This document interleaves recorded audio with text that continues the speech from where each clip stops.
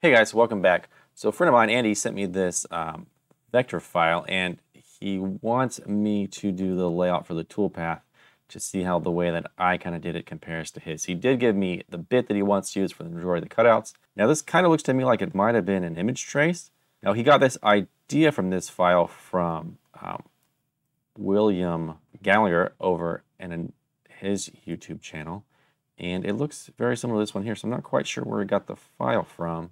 Oh, it's a little bit different on the outside. That's where he got his inspiration from, and I'm going to go ahead and start with that toolpath right now. Now, I did notice that there seems to be some anomaly right here, and I want to take care of that first. Yeah, I'm going to go ahead and guess that it was from somewhere in here, that maybe he moved stuff around at some point, and it just kind of showed up there. So let me scan around and make sure there's nothing else that doesn't look like it belongs in that place. Yeah. So it doesn't look like it belongs anywhere else. See, I'm going to go ahead and just press delete and we'll get rid of that little anomaly. Uh, from there, it really, it really can be quite simple. Uh, it does look like some of these items here could just be selected like that. I just selected everything by pressing Control A and then holding Shift, clicking this line and this line to get rid of that. And now it's going to, well, you'll see what it's going to do. Let's go ahead and set a toolpath here. And we use Advanced VCarve because I don't want to really control the depth. I'm going to let the depth control itself. And like I said, he, he said that he wanted to use a VBit. I'm just going to go in here and pick that default 302 and I'll leave the default data in here for the step over in depth from Shapeoko. Now, if you are using a different CNC, like I don't know, a 3018, um, you might want to reduce that down. And if you're using a uh, more powerful machine, like even X-Carve Pro or add the upgraded package for the Shapeoko, uh, or uh, my WorkBee, then um, you can uh, go a little bit more aggressively and not have any problems. I like to do this in stages, so I'll let that calculate out, and then I'll go through and run the simulation for that before moving on to the next toolpath.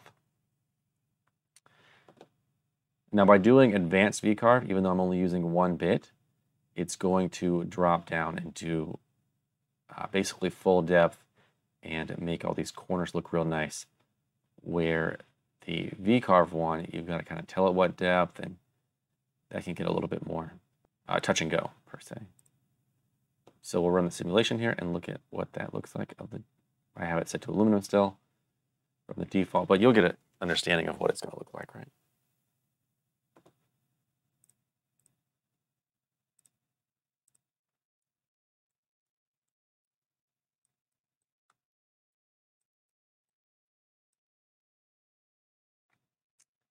So there we could do just the traces. Let's go over and look at what that um, original one looked like. So we had going in deeper in these spots. Oh, I, I do see that we've got um, some other paths in here where it could get a little messy if we change that up. But let's go ahead and change that up real quick. I do see as G here might carve inversely to the original one because it's got a nice offset. So we might have to add an offset to that G to get it to kind of carve um, the way that he wants it to. So let's go back in here real quick and I'll adjust this. Oh, I see that max depth. I forgot to change that.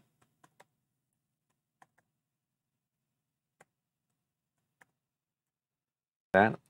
We'll set that up like that. There we go, 111 minutes. That looks a little better. And I can see the toolpaths in there. So this is what I was talking about with the G. It kind of carves inversely to how he had it set before. Let's go in there and see what that toolpath looks before I go through and edit that real quick. See, also these parts are attached, and I think in the um, in the example they aren't quite attached. So here we have all the numbers coming out well. Let me just compare that real quick. Yeah, so it looks like we have some um, effects in some of the letters, like the six and the seven and the five that the original one doesn't have. So if he wants to keep those uh, like this, we can leave them in there. We can just delete those out. Just delete out the uh, vector entirely. Because it looks like we only have those inside the 5, 6, 7, and 9 anyway.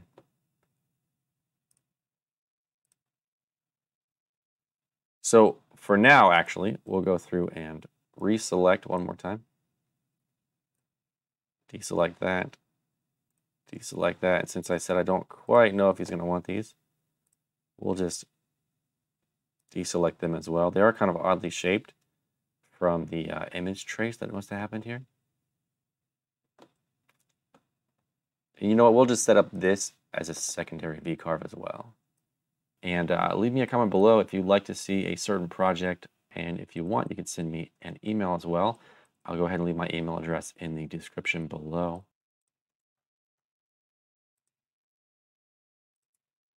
So by doing this, we'll just make this two different toolpaths, one for the outside and then one for this inside once I fix it.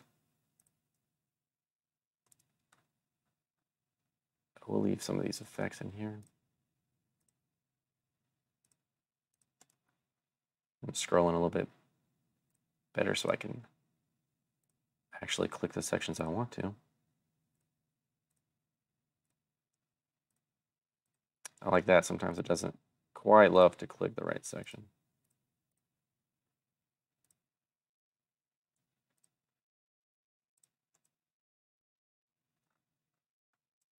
And then I'm holding shift as I select these to deselect them.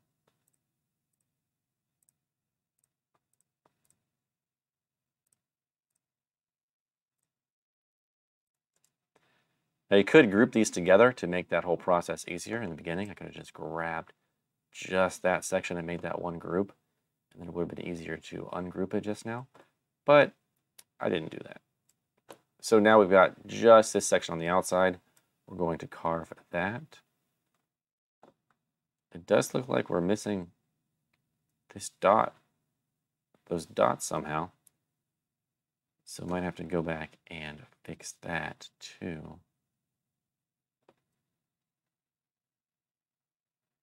Yeah, some of these it did kind of some weird shapes in there.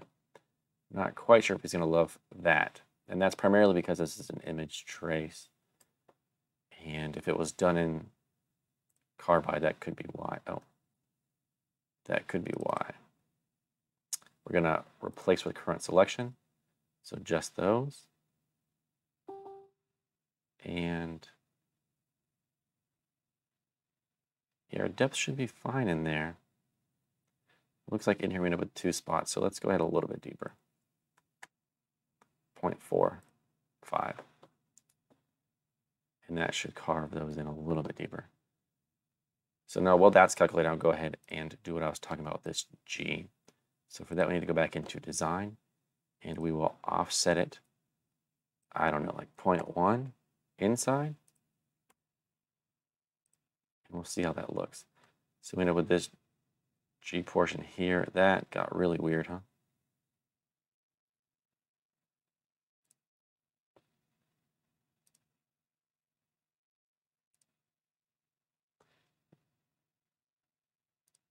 So I'm going to do here is take these two, and I'm doing to offset as well towards the outside, that same amount. I'm going to grab these two, this one and that one, and use the using these booleans function.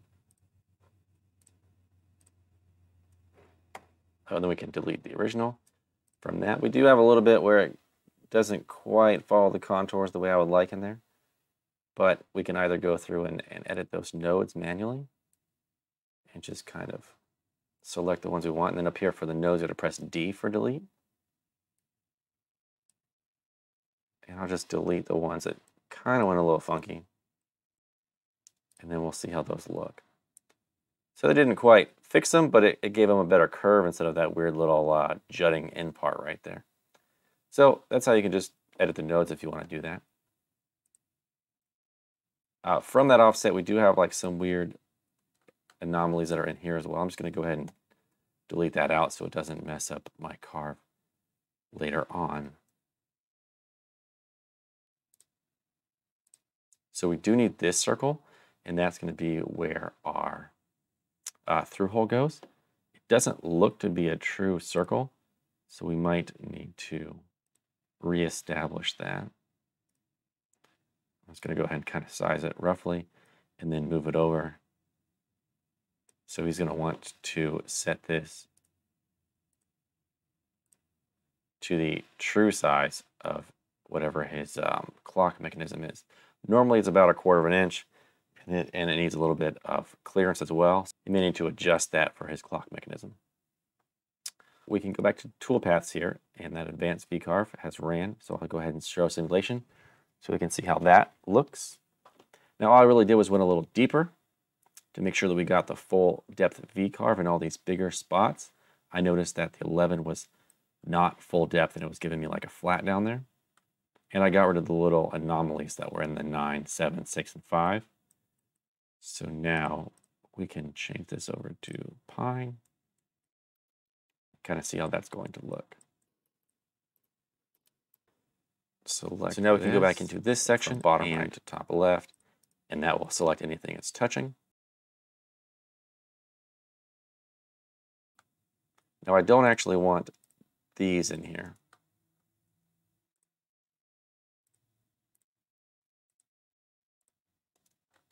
Have to scroll in more to get that. All right. So I don't want those for part of this carve. I just want these ones here. And you can just click group and it's going to group them together. And that makes selecting them, like I mentioned before, a lot easier, like when I had to deselect them all. Oh, also when I had um, done that offset, I brought in this element right there, which I meant to delete earlier. That was part of this offset that I brought in. There might be another one right there too that it brought in. So I'm going to do that one more time again. Grab this section.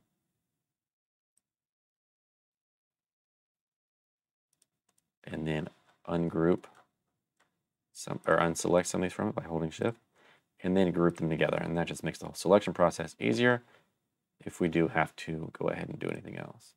Should have done that first, group the outside and the inside, but I didn't. So now that you can see that toolpath ran a lot faster, and it's not looking too bad. So now we've got both those toolpaths there. Let's go ahead and show those simulations. You can see these elements here on his are pretty much the same. We can just move on. If he wants those full in, we would just deselect these inside points, and that would make those like a full depth carve like this one is in here, instead of those kind of little circle pieces. We can come back over here. So we have this line going around the outside of that centerpiece, this line here. The easiest way to do is actually contour and then I'll set up depth with like a 0.1, and we've got that contour going right. We can set it to directly on the line as well. So we'll do that. And that 0.1 might be too deep. That's kind of the only thing about following a line instead of filling a pocket is you'll have to just make sure to check that simulation to see that it looks like the way you want it to look. Did I change my bit here? I did not. So we need to change this to a 60 degree. It doesn't show you the V-bits accurately in that contour toolpath there, unfortunately. So we can do that or we can, uh, so if you want to see what it's going to look like, we can set advanced V-carve. And as long as our depths are the same between that contour and this advanced V-carve, then the appearance is going to be the same.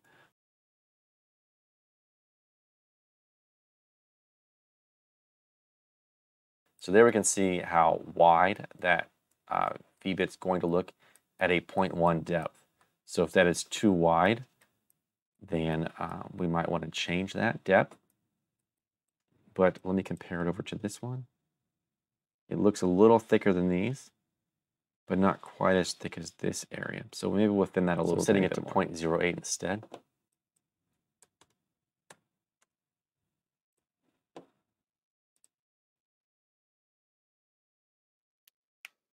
Okay, so that looks pretty good. It's about the same thickness as these ones over here. And then now we just have to do a perimeter and the hole. And in order to do that, we'll go ahead and select, which I set at 0.28 inches. You might hole have that I added, the actual circle. With that selected, we can just go ahead and do the pocket since we are removing all that material. And I'm going to use an eighth inch bit. Since we're cutting all the way through here. We can either click use stock bottom and it'll enter that automatically or type in the number. All right, so that is on there. And then we'll go ahead and do one more contour towards the outside. And we have the eighth inch bit and we want 0.75. We're going to throw some and tabs to hold this well. in place. I like a third personally. Thick is nice. And about. So go ahead and add.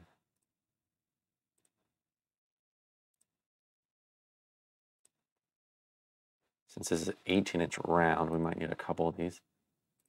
Uh, if he is doing this on an on a pre-cut round, Home Depot and Lowe's sells the pre-cut circles, he could just skip this outside perimeter step, uh, although he will want to change his origin to the center.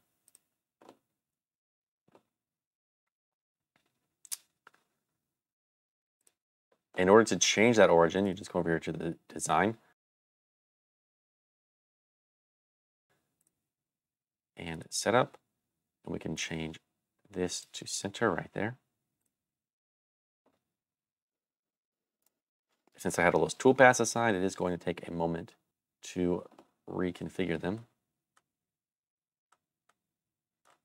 It looks here like our design is not perfectly centered either, so we might want to take this and move it over. And we can select it all like that.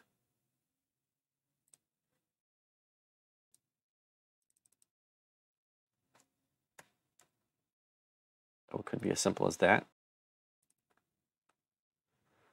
Perfect.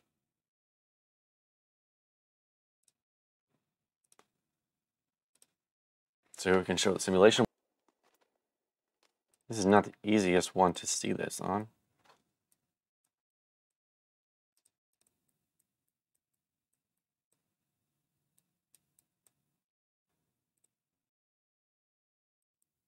So we've done pretty well to um, match up to this design as much as possible. So thank you guys all for hanging out with me today and checking out this Carbide Create project. Have an awesome day, guys.